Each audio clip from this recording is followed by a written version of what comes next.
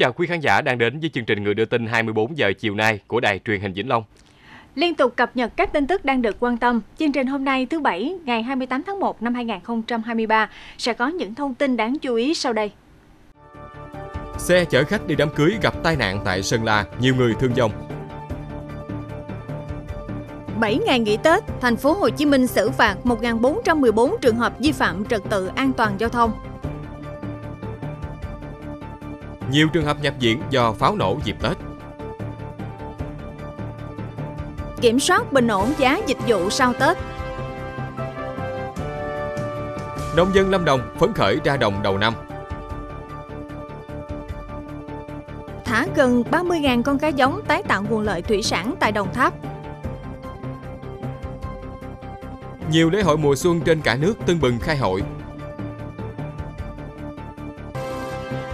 Trải nghiệm ngắm mặt trời mọc trên chợ nổi Long Xuyên. Mời quý vị bắt đầu theo dõi chương trình. Chương trình mở đầu với tin giao thông đáng chú ý. Thưa quý vị, đang trên đường đi đám cưới, chiếc xe chở khách bất ngờ gặp tai nạn khiến nhiều người thương vong. Ông Vì A Sơn, Chủ tịch Ủy ban Nhân dân xã Co Mạ, huyện Thuận Châu, tỉnh Sơn La xác nhận thông tin này và cho biết vụ tai nạn xảy ra vào khoảng 8 giờ 30 phút sáng nay trên đường tỉnh 108 thuộc địa phận bản Nông Vai, xã Co Mạ. Vào thời điểm trên, xe ô tô khách mang biển kiểm soát 29B 51070 chở theo 18 người, bao gồm cả lái xe, lưu thông trên đường tỉnh 108, hướng từ thị trấn Thuận Châu đi xã Triền Phung, huyện Sông Mã, tỉnh Sơn La để dự đám cưới. Khi xe đến ngã ba Nông Vai thuộc bản Nông Vai, xã Co Mạ, huyện Thuận Châu thì bất ngờ gặp tai nạn khi đang xuống dốc. Xe ô tô khách đã lật nhiều dòng ở độ cao khoảng 20 mét từ đoạn cua qua ta luy âm xuống mặt đường gấp khúc. Bước đầu xác định vụ tai nạn khiến 3 người trên xe khách tử vong tại chỗ và nhiều người khác bị thương đang được cấp cứu tại bệnh viện. Nguyên nhân vụ tai nạn đang được làm rõ. Còn tại Hà Nội, trưa nay Công an huyện Thường Tín và các đơn vị nghiệp vụ khẩn trương khám nghiệm hiện trường, khắc phục vụ xe container va chạm tàu hỏa xảy ra vào sáng cùng ngày. Vào sáng nay, xe container chở theo hàng chục tấn sắt băng qua đường ray đoạn thuộc xã Văn Tự, huyện Tường Tính, thành phố Hà Nội trong khi tàu hỏa đang chạy tới khiến hai phương tiện xảy ra va chạm. Vụ va chạm khiến hàng chục bó sắt rơi xuống đường, đè bẹp chốt gác tàu. Đầu máy tàu bị hư hỏng nặng, cả đoàn tàu không thể di chuyển, phải chờ thay thế đầu máy khác. Vụ tai nạn may mắn không gây thương vong về người, nguyên nhân đang được ngành chức năng làm rõ. Hôm nay, Phòng Cảnh sát Giao thông Đường bộ, Đường sắt Công an thành phố Hồ Chí Minh cho biết trong 7 ngày nghỉ Tết Nguyên đán Quý Mão, từ ngày 20 tháng 1 đến ngày 26 tháng 1, tức 29 tháng Chạp đến mùng 5 Tết, lực lượng Cảnh sát Giao thông thành phố đã phát hiện lập biên bản 1.414 trường hợp vi phạm về trật tự an toàn giao thông. Trong đó vi phạm về nồng độ cồn là 537 trường hợp, tạm giữ 537 phương tiện, tước quyền sử dụng giấy phép lái xe có thời hạn 248 trường hợp, phạt tiền ước tính 1,7 tỷ đồng. Về vi phạm quá tải, quá khổ giới hạn, tự ý cải tạo phương tiện đối với xe ô tô tải và các phương tiện tương tự, đã xử lý hai trường hợp vi phạm chở hàng quá tải trọng, tước quyền sử dụng giấy phép lái xe có thời hạn một trường hợp, phạt tiền ước tính 27 triệu đồng. Về vi phạm đối với xe ô tô kinh doanh vận tải hành khách, đã xử lý 34 trường hợp vi phạm, tước quyền sử dụng giấy phép lái xe có thời hạn một trường hợp, phạt tiền ước tính gần 18 triệu đồng. Trong những ngày sau Tết, thực hiện chỉ đạo của Cục Cảnh sát Giao thông, lực lượng Cảnh sát Giao thông thành phố Hồ Chí Minh tiếp tục duy trì bố trí thường xuyên các tổ cảnh sát giao thông trên đường, điều tiết giao thông, hướng dẫn, giúp đỡ, tạo điều kiện cho người dân quay lại thành phố làm việc, học tập được thuận tiện, an toàn. Bên cạnh tai nạn giao thông thì những vụ tai nạn sự cố do pháo nổ cũng đã xảy ra trong dịp Tết. Tại Đắk Lắk, trong những ngày Tết trên địa bàn tỉnh đã xảy ra nhiều trường hợp tai nạn do pháo nổ. Cụ thể từ ngày 30 đến mùng 6 Tết, khoa chấn thương chỉnh hình Bệnh viện Đa khoa dùng Tây Nguyên à, đã tiếp nhận nhiều trường hợp nhập viện liên quan đến tai nạn pháo nổ. Hiện tại có 4 bệnh nhân đang điều trị tại khoa. Trong đó có trường hợp bệnh nhân TAK, 18 tuổi, trú tại huyện Rồng Bắc, tỉnh Đắk Lắk, nhập viện vào ngày 30 Tết. Bệnh nhân nhập viện trong tình trạng bàn tay phải dập nát, đứt hết 4 ngón tay. Đến nay, mặc dù đã được các bác sĩ tích cực điều trị, nhưng vết thương vẫn nhiễm trùng gây đau nhức. Còn đây là bệnh nhi IBK 8 tuổi, trú tại huyện Cư Cuin, tỉnh Đắk Lắk, cũng nhập viện do tai nạn pháo nổ trong tình trạng hai tay bị dập nát. Theo các bác sĩ, đa phần bệnh nhân bị tai nạn do pháo nổ đều để lại những di chứng thương tật nặng nề và hay gặp phải ở những người trẻ tuổi. Những cái tổn thương mà do tai nạn đốt pháo ra thì sau khi mà bôi chúng tôi xử lý thì thường thường rất tổn rất ảnh hưởng đến cái chức năng cơ sau này về các cái, cái hoạt động sinh hoạt của cái chi của cha các cháu như là cụt các ngón tay, có những trường hợp là cụt cả bàn tay, có những trường hợp là cụt vật bọng và những cái khu vực khác. Thì đây là những cái tai nạn rất là thương tâm mà cũng mong rằng là là chúng ta tiếp tục tuyên truyền cảnh báo cho các các như hiện tại tại khoa chấn thương đang tiếp cận bốn bốn bốn bệnh nhân Ờ, hiện tại đang điều trị là như vậy và cái quá trình điều trị cho những cái bệnh nhân mà bị tổn thương do đốt pháo thì thường thường là lâu dài tốn kém và rất là vất vả cho cả gia đình và bệnh nhân và thầy thuốc. Để hạn chế tai nạn đáng tiếc do pháo nổ gây ra, nhất là đối với trẻ nhỏ, gia đình và nhà trường cần có biện pháp giáo dục các em không tự chế tạo cũng như sử dụng trái phép pháo nổ.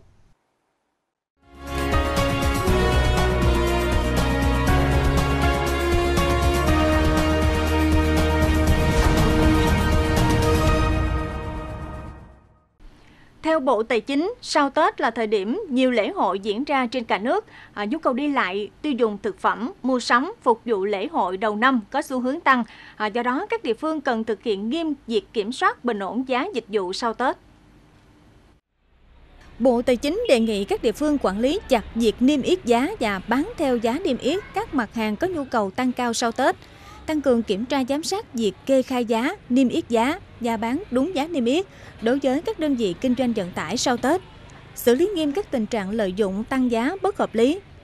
Đối với tháng 2 và quý 1 năm 2023, cần tiếp tục theo dõi sát diễn biến cung cầu thị trường, giá cả các hàng hóa dịch vụ thiết yếu, thực hiện việc kiểm soát chặt chẽ và bình ổn giá cả đối với các dịch vụ vui chơi giải trí, ăn uống, đi lại, phục vụ dịp lễ, đồng thời tăng cường quản lý, kiểm tra, thanh tra việc chấp hành các quy định của pháp luật về giá, gắn với kiểm tra việc chấp hành pháp luật về thuế, phí, nhất là dịch vụ tham quan du lịch, dịch vụ trong giữ xe đạp xe máy, ô tô. Tiếp theo sau đây là thông tin giá cả một số mặt hàng trong ngày hôm nay. Mời quý vị và các bạn cùng theo dõi. Giá sầu riêng tại miền Tây đang cao kỷ lục do thương lái thu gom hàng để xuất khẩu. Một dựa sầu riêng ở huyện Cai Lậy, tỉnh Tiền Giang thu mua sầu riêng ri sáo với giá dao động từ 105.000 đến 125.000 đồng một ký. Sầu riêng Thái giá 145.000 đến 165.000 đồng một ký. Trước kia, giá sầu riêng đỉnh điểm cũng chỉ dừng ở mức 105.000 đồng một ký. Tính toán từ Sở Nông nghiệp và Phát triển Nông thôn tỉnh Tiền Giang cho thấy, sầu riêng địa phương đạt năng suất bình quân từ 20 đến 25 tấn trên một hecta. Nếu thu hoạch đúng thời điểm sốt giá, doanh thu sẽ đạt trên 2 tỷ đồng một hectare sau khi trừ chi phí sản xuất, nông dân có thể lời từ 1 đến 1,5 tỷ đồng một hecta. Sau Tết, giá rau xanh ở các chợ đầu mối tại thành phố Hồ Chí Minh giảm do sức mua thấp. Cụ thể trước Tết, giá của qua tăng lên 50.000 đồng một ký, nhưng hiện đã giảm chỉ còn 20.000 đồng một ký. Cà chua từ 40.000 đồng một ký giảm còn 30.000 đồng một ký. Hành lá từ 60.000 đồng một ký giảm còn 40.000 đồng một ký. Salad giảm 10.000 đồng một ký, còn 30.000 đồng một ký. Rau thơm giảm 20.000 đồng một ký, còn 50.000 đồng một ký sản lượng hàng hóa về chợ đang tăng dần trở lại qua các ngày, nhưng vẫn còn thấp hơn ngày thường khoảng 50%. Giá lúa gạo hôm nay tại đồng bằng sông Cửu Long điều chỉnh tăng với mức 100 đồng một ký. Xuất khẩu gạo đang có lợi thế tốt để đón đầu xu hướng tăng giá. Hiện giá gạo nguyên liệu ở mức 9.300 đồng đến 9.400 đồng một ký, gạo thành phẩm 10.000 đến 10.100 đồng một ký, Tại các chợ, giá gạo thường ở mức 11.500 đồng đến 12.500 đồng một ký. Gạo thơm Đài Loan 20.000 đồng một ký, gạo Nhật 20.000 đồng một ký. Thưa quý vị, theo quan niệm của nhà nông thì việc ra đồng sản xuất đầu năm rất quan trọng để cầu mong mưa thuận gió hòa, mùa màng tươi tốt trong cả năm. Vâng ạ, và tại Lâm Đồng thì sau những ngày vui xuân đón Tết thì bà con nông dân trên địa bàn tỉnh đã đồng loạt ra quân sản xuất đầu năm với khí thế vui tươi, hy vọng vào một mùa vụ bội thu. Sau những ngày nghỉ Tết vui vẻ, ấm áp cùng gia đình và người thân, gia đình chị Đặng Thị Thùy Hương ở thành phố Đà Lạt, tỉnh Lâm Đồng đã tập trung ra vườn để thu hoạch dâu tây. Sau những ngày à, à, nghỉ Tết, hôm nay tụi em à, ra thăm vườn á, thì thấy đầu năm mới thì vườn em ra em cũng rất là vui. Cây xanh lá tốt dâu chín. Em rất là phấn khởi. Ờ, em cũng vui. Mang những, những trái dâu ngon ngon nhất chín thơm để phục vụ cho khách đến tại Đà Lạt. Cũng như gia đình chị Hương, thời điểm này nhiều nông dân trên địa bàn tỉnh Lâm Đồng đã đồng loạt ra đồng chăm sóc cho cây trồng để bắt đầu vụ mùa mới. Sau vụ Tết, các mặt hàng nông sản và các loại hoa trên địa bàn tỉnh tiêu thụ thuận lợi, được giá cao. Bên cạnh đó, thời tiết trong những ngày đầu xuân cũng thuận lợi cho việc sản xuất, nên bà con nông dân ai nấy đều rất phấn khởi. Tiếp theo chương trình Người đưa tin 24 giờ hôm nay là những thông tin đáng chú ý sau. Thả gần 30.000 con cá giống tái tạo nguồn lợi thủy sản tại Đồng Tháp. Nhiều lễ hội mùa xuân trên cả nước tưng bừng khai hội. Trải nghiệm ngắm mặt trời mọc trên chợ nổi Long Xuyên.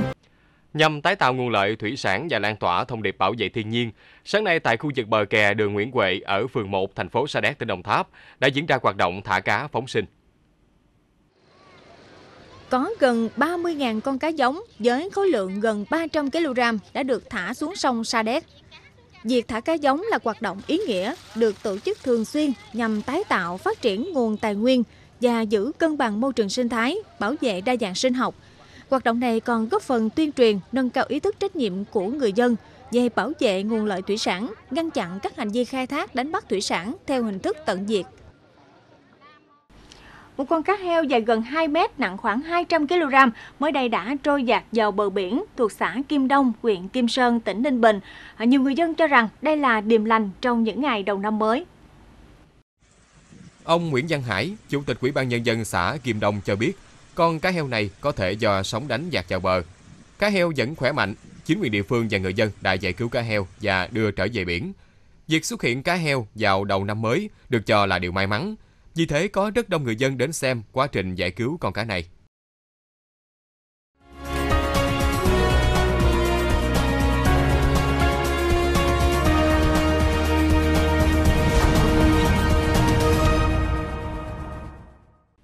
Ngày hôm qua, mùng 6 Tết Nguyên đán, nhiều lễ hội truyền thống đã chính thức khai hội trên khắp cả nước, thu hút đông đảo du khách thập phương.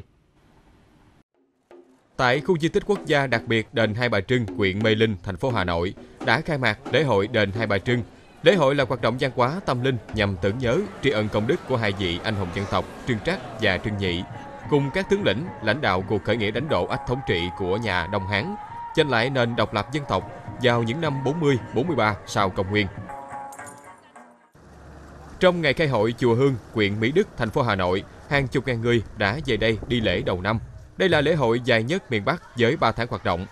Lễ hội năm 2023 có chủ đề Lễ hội chùa Hương an toàn, văn minh, thân thiện. Điểm đổi mới của lễ hội năm nay là chuyển từ hình thức bán vé tham quan truyền thống sang mô hình bán vé điện tử.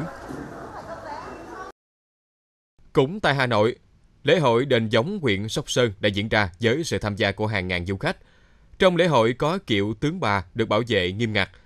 Lễ vật trầu cao sau khi lễ xong rước xuống đền mẫu, lễ tạ và chia lộc. Lực lượng công an túc trực đảm bảo an ninh không để xảy ra tình trạng tranh cướp lộc như mọi năm. Lễ hội kéo dài đến hết tháng Giêng. Lễ hội Chùa Bái Đính ở Ninh Bình là một trong các lễ hội lớn nhất miền Bắc vào những ngày đầu xuân năm 2023. Ý nghĩa lễ hội Chùa Bái Đính cầu cho quốc thái dân an, người dân ấm no hạnh phúc. Ban tổ chức lễ hội cho biết đã tính toán các phương án nhằm tránh tình trạng ủng tắc, mất trật tự để có mùa lễ hội an toàn, văn minh. Lễ hội Chùa Bái Đính sẽ kéo dài đến hết tháng 3 âm lịch. Còn vào sáng nay, ngày mùng 7 tháng Giêng, tại xã Hiền Lương, huyện Hạ Hòa, tỉnh Phú Thọ à, đã long trọng tổ chức lễ dân hương theo nghi thức truyền thống để tưởng nhớ và tri ân công đức tổ mẫu Âu Cơ.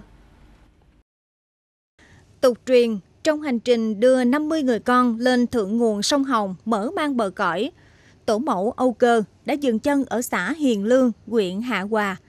Tại đây, tổ mẫu Âu Cơ thấy phong cảnh hữu tình, đất đai trù phú, người đã cho khai khẩn đất quan, lập thôn ấp, dạy dân cấy lúa, trồng dâu, nuôi tầm, dệt giải, biến dùng đất quan sơ thành trù phú. Khi trang ấp ổn định, người lại cùng các con lên đường đến cách dùng đất mới. Đến khi Giang Sơn thu về một mối, bờ cõi được mở rộng, mẹ Âu Cơ lại trở về gắn bó với vùng đất hiền lương.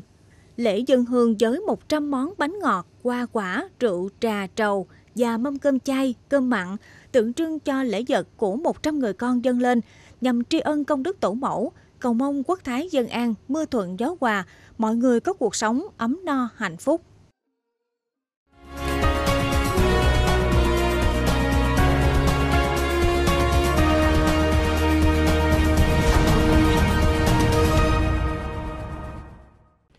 Những ngày đầu tháng Giêng tại thành phố Tuy Hòa, tỉnh Phú Yên, ảnh hưởng từ gió mùa đông bắc khiến nhiệt độ giảm xuống còn 20 độ C, kèm theo mưa lạnh nhiều nơi.